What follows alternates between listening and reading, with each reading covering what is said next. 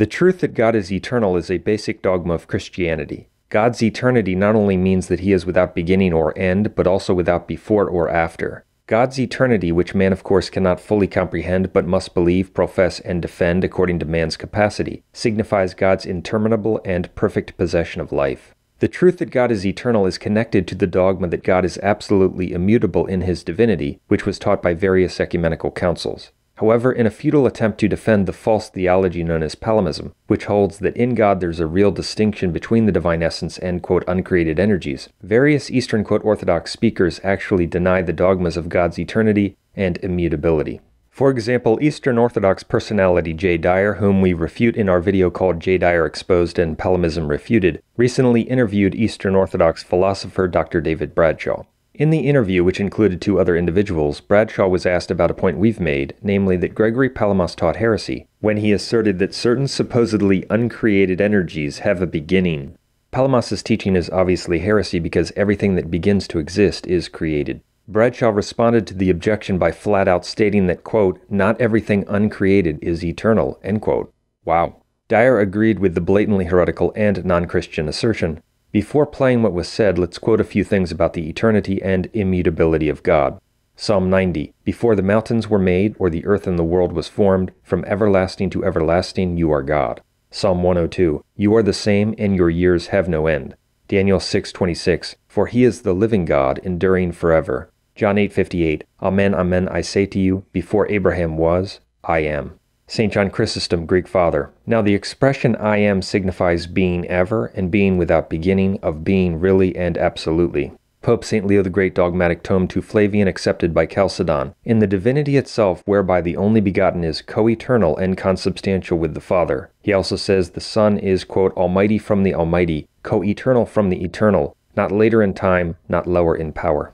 One could quote many other things on the matter of God's eternity slash eternality. God is eternal, the Council of Nicaea, in its dogmatic canon, anathematized those who say that there was a time when the Son was not, or that he is subject to alteration or change.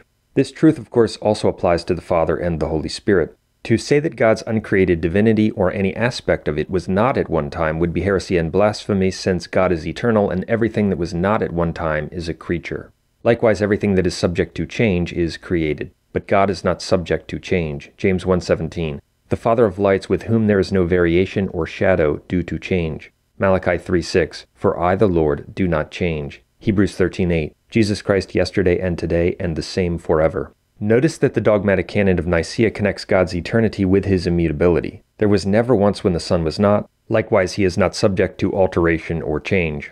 The two go together. To deny one is to deny the other. All three persons of the Trinity are equally perfect and complete in divinity. The divinity does not acquire new things or energies or grow or change at all. As St. Athanasius said, the faith of Christians acknowledges the Blessed Triad as unalterable and perfect and ever what it was, neither adding to it what is more, nor imputing to it any loss.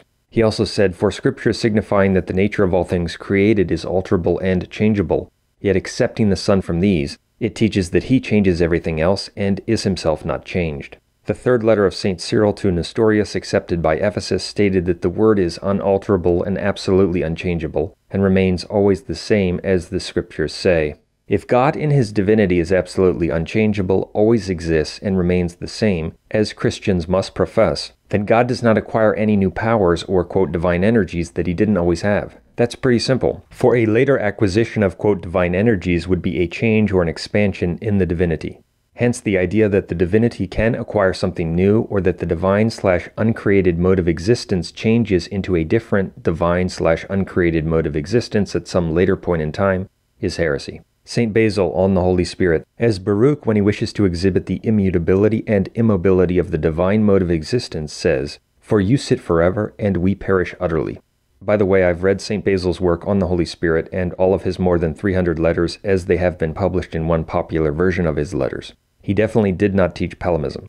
We will perhaps expand upon that in the future. Eastern schismatics misinterpret and misuse fathers of the Church. It's similar to how Protestants misuse St. Paul and fathers of the Church when they falsely claim that they taught sola fide or sola scriptura. Back to the matter of God's immutability. The letter of Cyril to John of Antioch, accepted by Chalcedon, also stated, quote, Those are quite mad who suppose that a shadow of change is conceivable in connection with the divine nature of the Word, for he remains what he is always and has not been changed, nor can he ever be changed, nor is he capable of change. The Christian truth on God's immutability is very well established. Many other things could be quoted.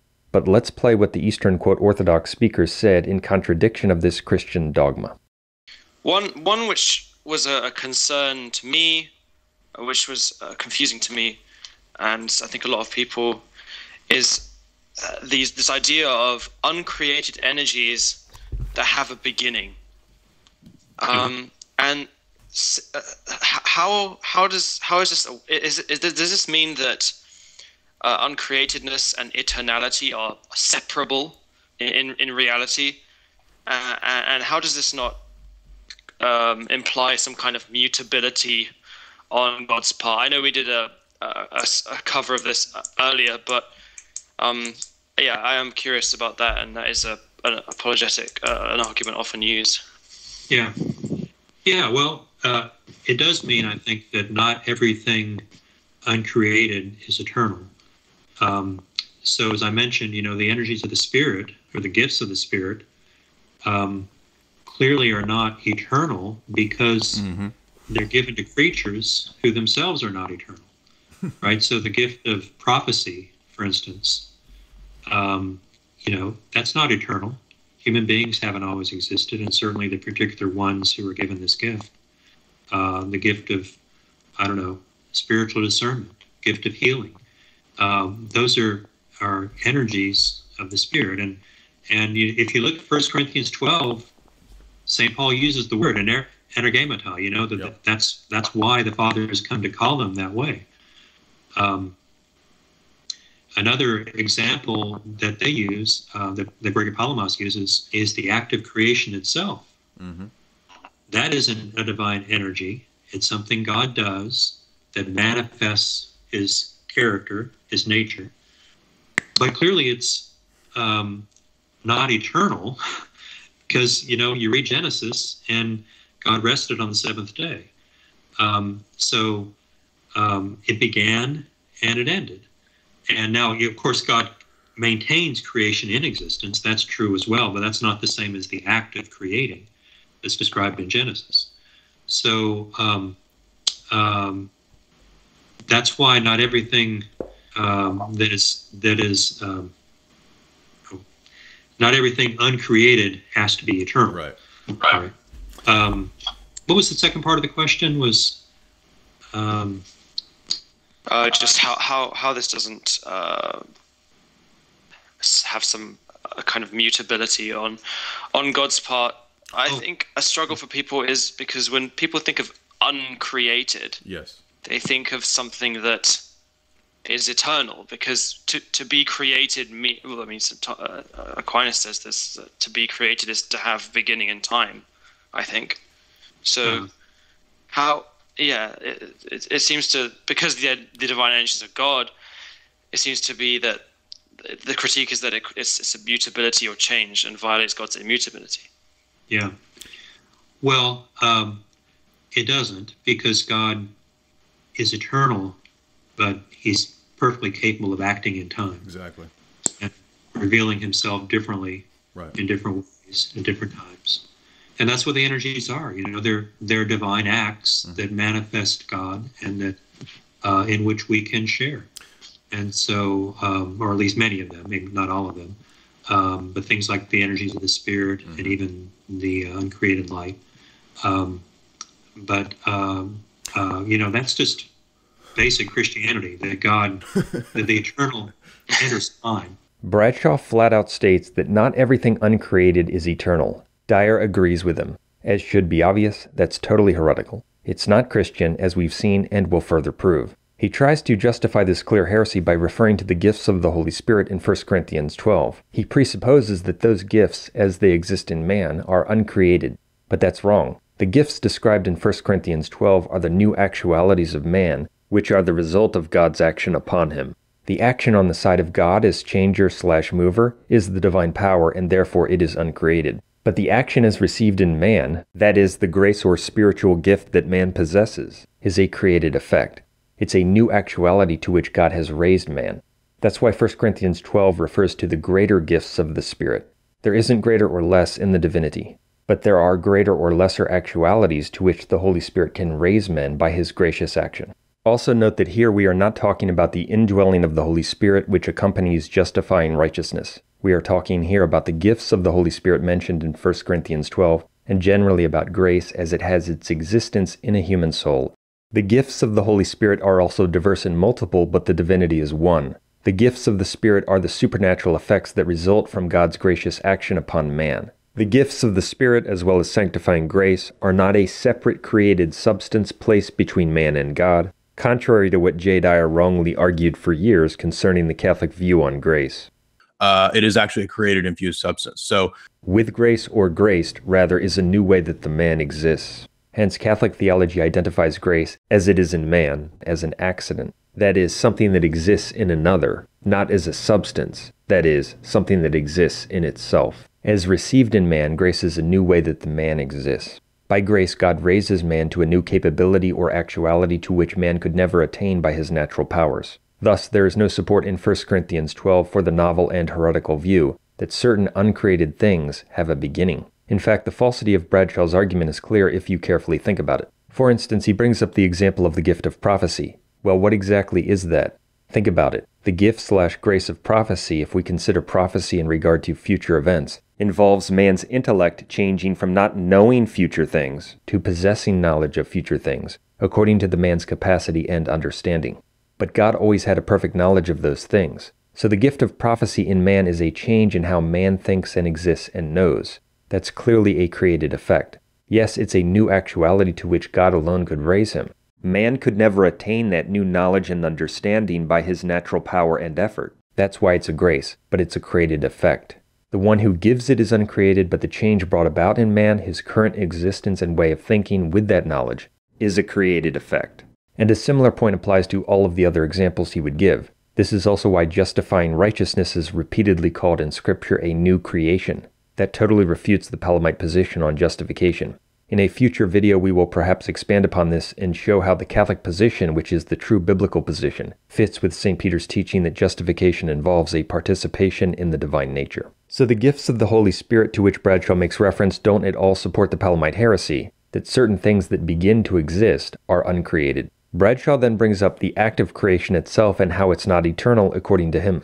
We've addressed this before, but he is confusing the power slash act that is the cause of creation, namely the divine essence, with the temporal ad extra effects. The act of creation, when we consider the agent, is God slash the divine essence itself, and therefore it is eternal. But it doesn't therefore follow that the effects of that act, namely the created things, are eternal. They are not. God creates things not by instruments but by will. He freely willed from all eternity that certain effects would take place in time, and that on the seventh day there would be a cessation of those effects. That doesn't mean that God at some point later decided to create, which would constitute a new decision or movement. It means that the effects began on the first day and ceased on the seventh day. As St. Thomas says, nothing therefore prevents our saying that God's action existed from all eternity, whereas its effect was not present from eternity, but existed at that time when, from all eternity, he ordained it. Bradshaw then repeats his heretical position, quote, That's why not everything uncreated has to be eternal. That's why not everything um, that is that is um, not everything uncreated has to be eternal. Right. As we've shown, that's totally heretical. The person who posed the question then wonders how this doesn't contradict God's immutability. Uh, just how, how, how this doesn't uh, have some a kind of mutability on on God's part. They should be concerned about that, since their position definitely contradicts God's immutability. Bradshaw responds by stating, quote, Well, it doesn't because God is eternal, but he's perfectly capable of acting in time, dot dot dot. That's basic Christianity, end quote. Actually, what he has presented is a denial of basic Christianity. Basic Christianity is that God's divinity doesn't change. Basic Christianity is that everything that was not at one time is created. So they deny basic Christianity and dishonestly present it as if it's basic Christianity. Incredible. The canon from Nicaea destroys Palamism and Eastern quote Orthodox theology. Bradshaw also attempts to confuse the issue by stating that God acts in time, as if that's all they were saying. Yes, God acts in time in the sense that he upholds, empowers, changes things by the power of his immutable and eternal divinity. The Son of God also entered into time by assuming human nature and becoming man, without any change to his divinity. Let me repeat that without any change to his divinity. But they aren't merely saying that God acts in time, which could be understood in a true sense. They are rather saying that the divinity, which is necessarily eternal, has an aspect to it that is not eternal. That's heresy and actually nonsense. It is to state that ultimately the divinity is not eternal. It is also to deny simplicity because if the divinity has one aspect that always existed and another that began to exist, it's divided into parts. Also consider what St. John of Damascus, who did not teach Palamism contrary to their assertions, says. St. John of Damascus reaffirms the Christian truth that everything that changes is created and that the uncreated God is wholly immutable. Quote, All things that exist are either created or uncreated. If then things are created, it follows that they are also wholly mutable. But if things are uncreated, they must in all consistency be also wholly immutable. The Creator, then, being uncreated, is also wholly immutable. Again, we see that everything that changes is created. Well, Father Dumitru Stăniloae, who was an Orthodox professor in Romania and considered by many adherents of Eastern Orthodoxy to have been one of the greatest Eastern Orthodox theologians of the 20th century, openly taught that God is not immutable in the uncreated energies. He said that God himself changes for our sake in his operations, and he referred to the Palamite doctrine of the uncreated energies which do change. That is clear heresy against the Christian faith. It further proves our point that Palamite Eastern Orthodoxy denies the dogma that God is immutable in his divinity. Now, the Eastern Orthodox Palamites believe that certain uncreated energies began to exist. Therefore, such an energy did not exist at one time. It once was not. But that which does not exist cannot possibly bring itself into existence. It can only be brought into existence by some other thing that actually exists. So the Palamite, quote, uncreated energy that once was not, but then began to be, must have been acted upon by some other thing that always existed.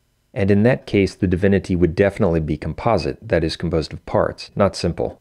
There would be the part that always existed and the part that began to exist. And after it began to exist, the quote divinity would have more than it previously did. Therefore, by adhering to the Palamite heresy that some uncreated energies began to exist, they deny God's simplicity in addition to his immutability and eternity. They worship a creature, for they worship that which once was not. That's why their theology is idolatrous. Something that was brought into existence by another is not all powerful. It's inferior, it's subject to something else. And they even admit that the energies are transcended infinitely by the essence. They are worshipping a creature but calling it uncreated. In fact, note that the Canon of Nicaea not only condemns the position that the Son once was not, but also the position that he was made of things that were not. But that's what they hold. They hold that the energies are God, and therefore that the divinity is composed of certain energies that once were not. That is tantamount to the position anathematized by Nicaea. Now let's put the final nail in the coffin of this heresy. We've shown that they deny God's immutability, eternity, and simplicity, but consider again Bradshaw's key assertion, which Dyer agrees with. Not everything uncreated is eternal. He even repeated the heresy in almost the exact same words later. While St. Athanasius, repeating the faith of the Church on this, directly contradicts this heresy. Quote, it is plain then from the above that the Scriptures declare the Son's eternity. It is equally plain from what follows that the Arian phrases he was not and before and when are in the same Scriptures predicated of creatures. Thus it appears that the phrases once was not and before it came to be and when, and the like, belong to things originate in creatures, which come out of nothing, but are alien to the word. As we can see, the phrases once was not, before, etc. are applicable to creatures, not to God, since he is eternal. Well, the Palamites say that some of the energies once were not. That's a fact. Yet they maintain that those things that once were not are actually uncreated and therefore God, the Creator. It's heresy. There are many similar quotes from the Fathers that we could cite on this basic point of Christianity. Here's another one from St. John Chrysostom. Quote, A nature that came into being, for that which came to be, be it what it may, has come to be either in time or the age before time was, but the Son of God is above not only times but all ages which were before, for he is the creator and maker of them, as the Apostle says, by whom also he made the ages. Now the maker necessarily is before the thing made, for all that has been made, both heaven and earth, has been made in time, and has its beginning in time, and none of them is without beginning. To be eternal and without beginning is most peculiar to God. He contrasts that which came to be, the created things, with the Creator, who made all of those things that came to be. Hence, there is no, quote, uncreated thing that came to be that once was not. The following quote from St. Athanasius also applies to the Palamite heresy. When describing a false view, he says, quote, This perhaps he borrowed from the Stoics, who maintain that their God contracts and again expands with the creation and then rests without end. This view that St. Athanasius rejects is similar to what Palamites hold. They hold that in order to interact with created things, the divinity expands, acquiring new uncreated energies, but that is false. We should also quote St. Sophronius of Jerusalem's profession of faith, which was accepted by Constantinople III. It declared belief in the one God, Father, Son, Holy Spirit, that is, the nature which is eternal and without beginning, and brought from non existence into existence and created what previously was not. As we can see, what previously was not was created by the eternal God. That's Christianity. But the Palamites hold that certain things that previously were not are uncreated. It's not Christian. One could quote many other things and other fathers, but it should be very clear that to affirm that something which begins to exist is uncreated is heresy. And there are two things to keep in mind when considering these dogmatic truths of the Christian faith. There is what we must believe according to our capacity and what we must profess. If you focus on what Christians must profess, it should be apparent that Dyer, Bradshaw, and the other Palamites don't profess Christianity. They don't consistently profess that the divinity is absolutely immutable. They contradict that. They don't profess that everything that begins is a creation. They openly reject that. But the Christian church teaches that everything that begins is created since God is eternal and he is the creator of everything else. So they can attempt to philosophize for 5,000 hours. They can try to explain their way around these simple professions of Christian dogma. It's to no avail. They are professing heresy. Romans 122, professing themselves to be wise, they became fools. And that's how false teachers deceive people. They bury heresies under mountains of rhetoric. They mix lies with a multiplicity of words. They inculcate false doctrines while they purport to give a deeper explanation or a historical analysis, so that the simple rule of faith to which Christians are bound gets lost in the process. But you are not permitted to say whatever you want on these matters. You must conform and restrict your language, teaching, and profession to the rule of Christian faith. You are not permitted to say that the divinity changes. They do. You are not permitted to say that the divinity in any way or in any aspect has a beginning. They do. They are heretics, period. Don't be foolish enough to fall for the false philosophy of such false teachers. Palamism is a heretical novelty. It wasn't taught by any saintly father of the Church, and it is contrary to the councils. Embrace the traditional Catholic faith, the one true faith of Jesus Christ necessary for salvation.